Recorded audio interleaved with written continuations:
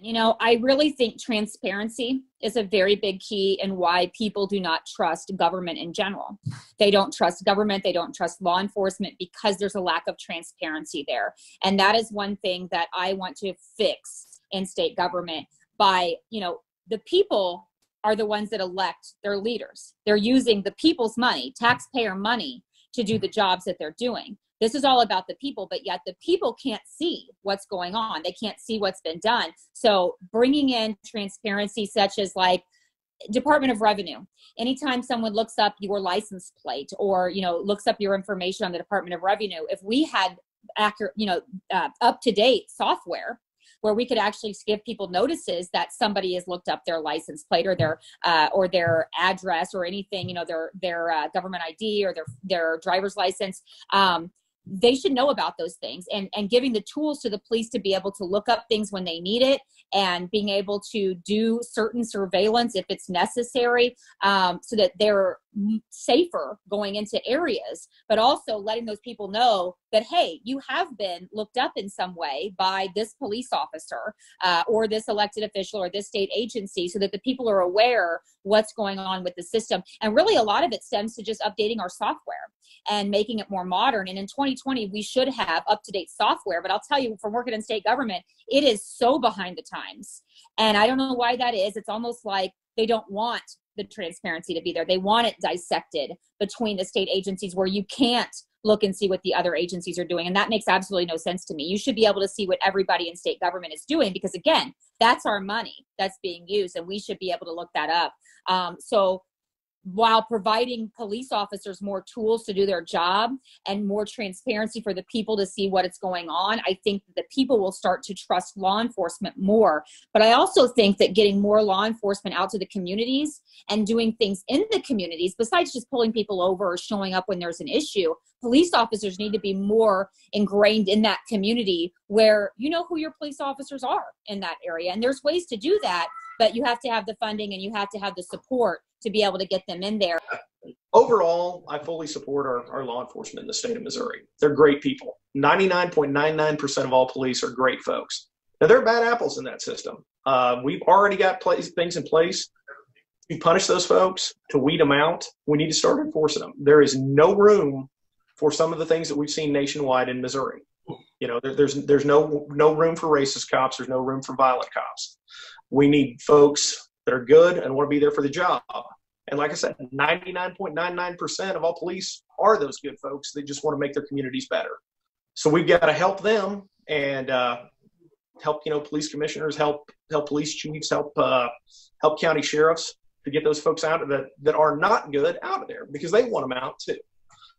So just encourage police to do a good job, make sure that they have the funding that they need and work with communities to find out where the problems really lie. I mean, sometimes it just boils down to asking folks in a community what the real problems are. You know, I'm going to be sitting in Jefferson City. I'm not going to necessarily know what's going on in Jackson County.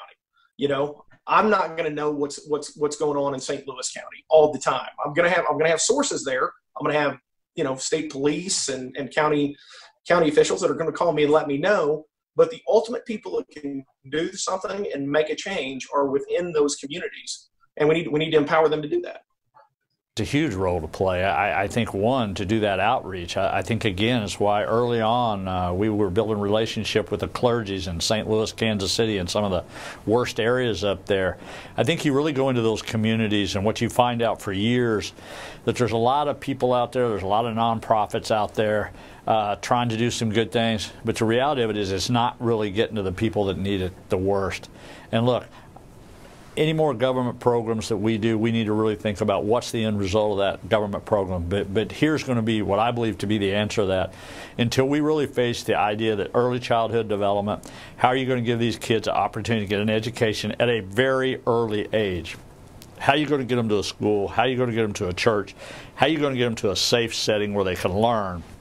and then how are you going to give them the skills they need to get a job. That take that's a long-term plan, but that's like 18 years ago. You'll see your first big results of that. But if you don't do that, we're kidding ourselves if we just keep doing the same old programs we're doing, the same old system that they're trapped in today, and not giving them an opportunity to get out. That's why the workforce development and the education piece is so important to me.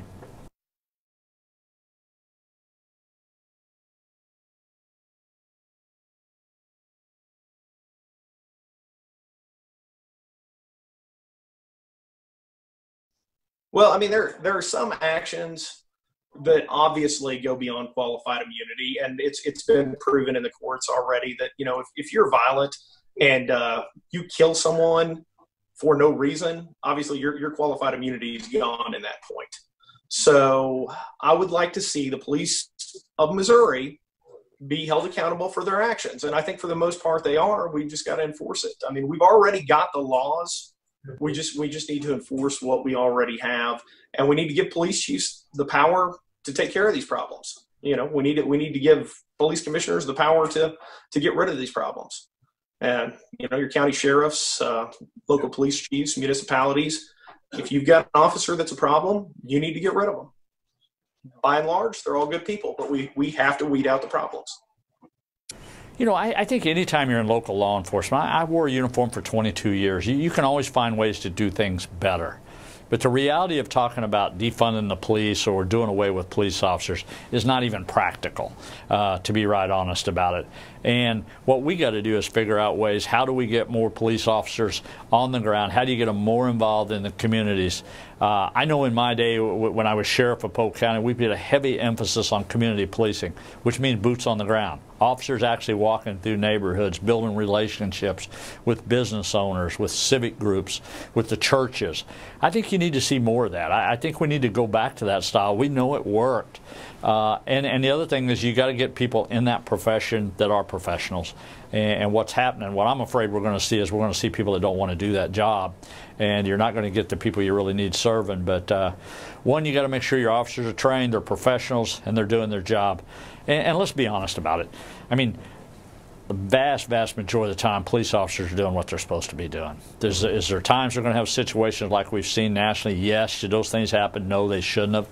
But I don't think taking away a whole police department or taking away that public safety entity from the from those communities is the road to go. I think with law enforcement, just like any any business, any profession, you're going to have bad actors okay? I mean that just goes with it. I'm an attorney. I've worked against some some pretty shady attorneys. Uh, of course you've heard all the attorney jokes you know things like that. Some of them are true. You know they actually say one of the jokes is how many jo- how many attor- lawyer jokes are there and the answer is three the rest are true right so there's a lot of a lot of bad actors in a lot of professions so obviously that does not exclude law enforcement my concern with law enforcement is that they seem to have and they've denied this when i talk to them but it's part of the code i guess is that they have this code that they don't tell on other law enforcement officials. So, um, say, you know, Officer Joe is speeding and Officer Mike sees him speeding. He's not going to go give him a ticket, right? Even though he's not going into an emergency and he's going to McDonald's to get something to eat. Um, I've seen it happen. Um, not not just in here in Missouri, but in other states I live, where a police officer will be speeding without lights on and go someplace that there's no emergency. He's just going there. Um, but police know that happens, but they don't do anything about it. They don't tell them. Of course, we're talking about things that are much worse than speeding. Obviously, I'm just talking about that as an example. But this code is in effect that they don't tell on each other. So the bad actors are not reprimanded in any way. And again, going back to the riots and the other things we're talking about, if that behavior continues and they get away with it, it's just it's just human nature that it increases and it gets worse. And pretty soon you've got a very, very bad actor that's getting away with, in some cases, murder um, because no one early on has called him out on it and he's not gotten reprimanded from it. And so, my thing with law enforcement that I would really like to do, and you know, training and all that is great, but breaking this code and having uh, having it where officers are not going to get in trouble for telling on each other, that they're actually, um, you know, they're they're encouraged to say something when they see something. Um, I think that eradicating that bad behavior early on before it gets to that point uh, would be the best case scenario so that it never does get to that point. I just think we haven't done that. We haven't done our due diligence in reporting police officers who are abusive or who are uh, take you know go across the line, and then they're allowed to do that so long that now they end up killing somebody. Um, so I know that a lot of things are symptoms of the problem, and I don't want to I think that a lot of times we go after the symptoms and we don't actually go after the root problem. And so my whole thing is finding the root problem to what's causing this and try to fix that, not the symptoms.